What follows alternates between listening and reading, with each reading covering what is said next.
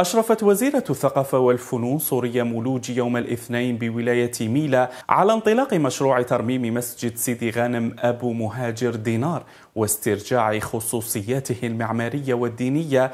ومسجد سيدي غانم هو أول مسجد بني في الجزائر إذ يعد من المساجد أقول القديمة التي ما زالت تنبض برائحة الفتوحات الإسلامية في الجزائر.